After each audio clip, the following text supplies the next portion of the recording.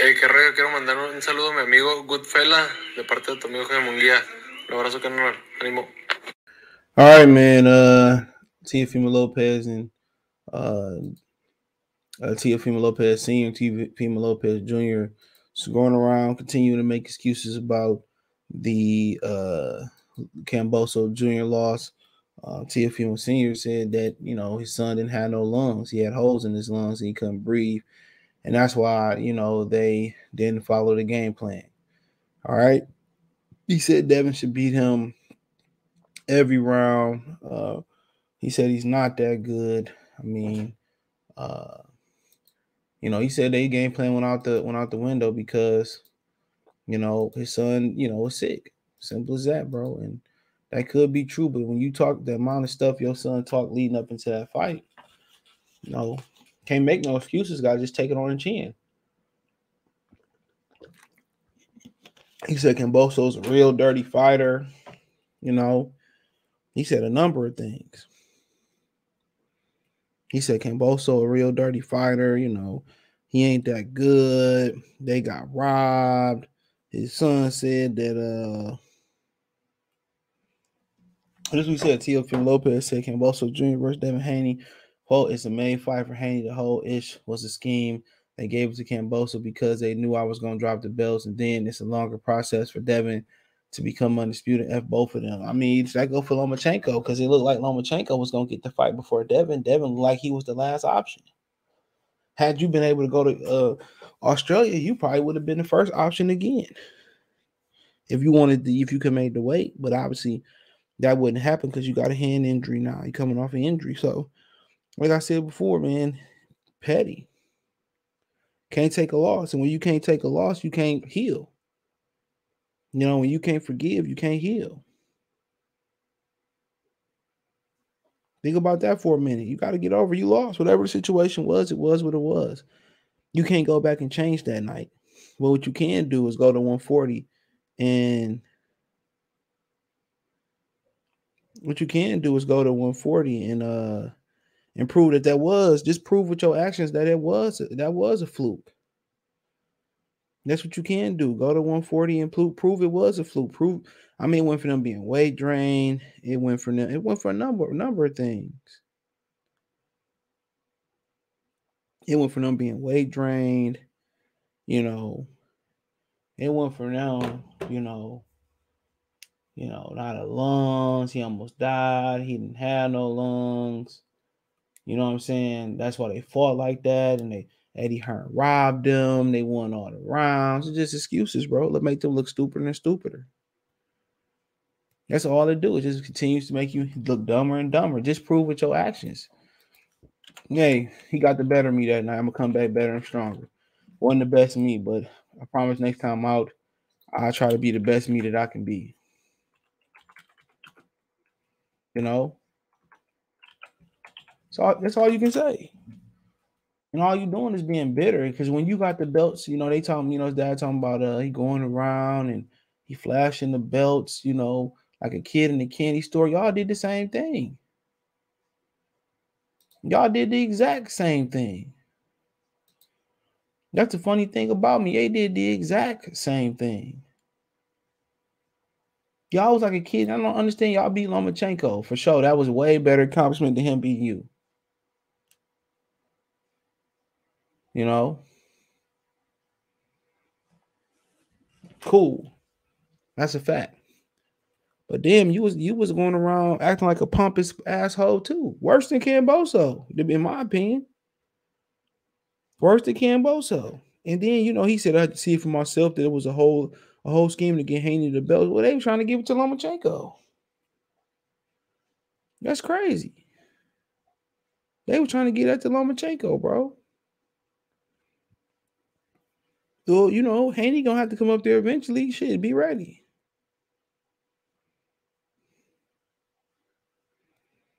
You know, he just hurt.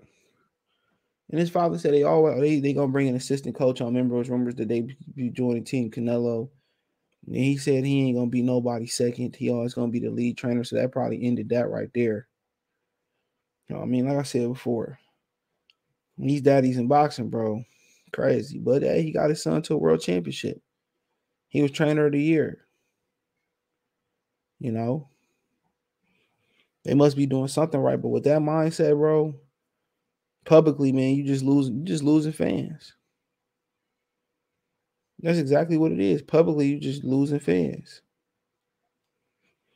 Instead of just taking taking it on the chops.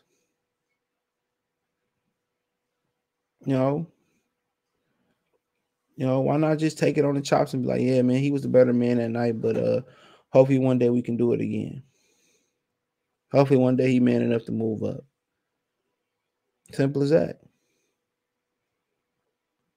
Simple as that, bro. So I mean, honestly, I don't understand. I don't I don't just understand it, bro. You jumped in there, tried to knock him out. Okay, your conditioning went there. If that's the case, call the fight off. But then the same thing with Gary Russell. You got to get paid. I can't go another four. Think about it. He still wouldn't have been able to get back in the ring. Still, he would still missed a. He said six. His daddy said six weeks. He can't punch for six weeks, and then they can finally start sparring. Well, doing shadow boxing. Then around eight or something like that, he said they can finally start sparring again. He just said something like that. So you know he can't even you know so you know, I feel him because you know that that pays bills. That pay, that pays his bills, bro. So I mean, what what is he supposed to do? He would have missed a whole another calendar year off of money. So he got to get paid. He got to get paid. He got to get paid.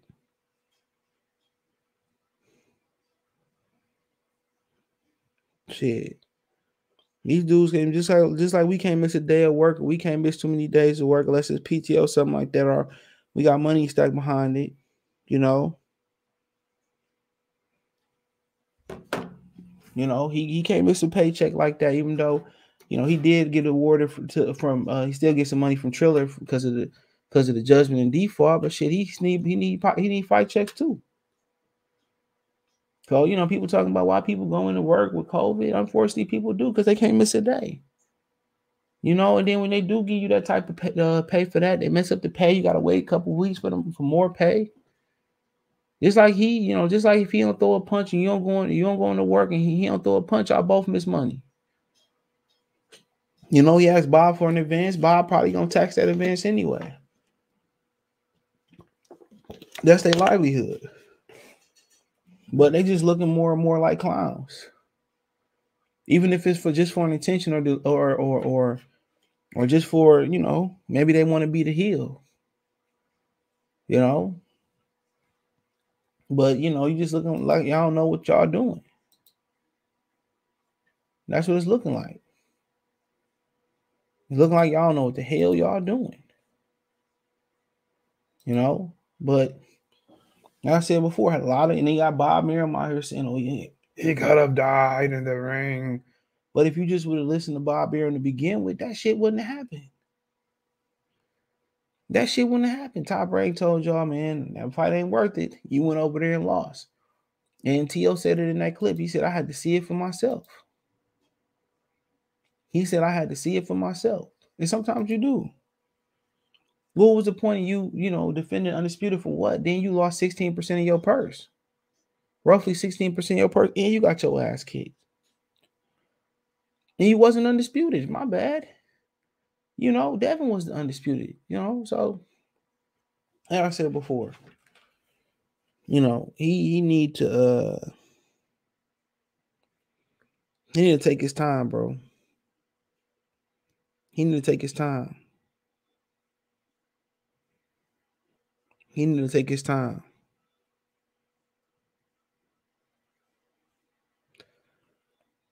He need to take his time, bro. And get everything in order. Get your life in order. You know. Get all that shit to get your life in order. Everything you got at home, get in order physically get in order. It don't seem like he spurs money on jewelry and dumb shit like that, but you never know what people do behind closed doors. You know. So you never know, but I just think, man, I still don't think he in a good place. You can't get into that box ring if you're not in a good place. So I think he need to get in a better place right now. And his father not helping either. Let your son go see a sports psychologist and see somebody. That shit helps.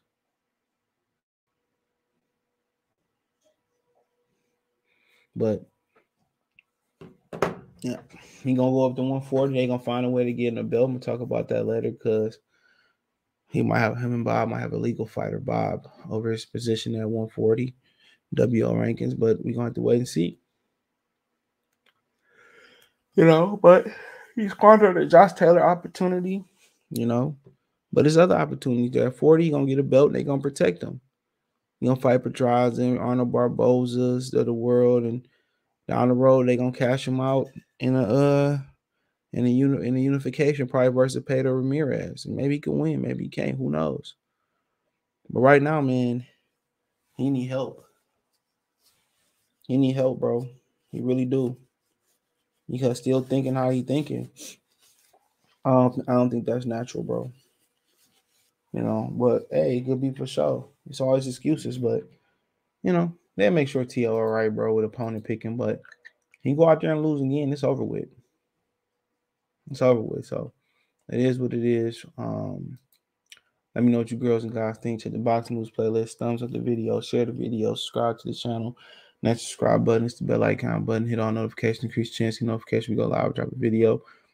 But to make a financial donation, Cash App, dollar sign, CJ Good 313, Venmo, CJ Good 313, PayPal link description. Uh, best would donate, comment, thumbs up the video, share the video, subscribe channel. That subscribe button is the bell icon button. Hit on notification, increase chance, notifications. Like I said already, hit the Linktree, link in the description. Take you everywhere I'm producing content for Spotify, Anchor, Twitch, Twitter, the whole nine. Appreciate the love support.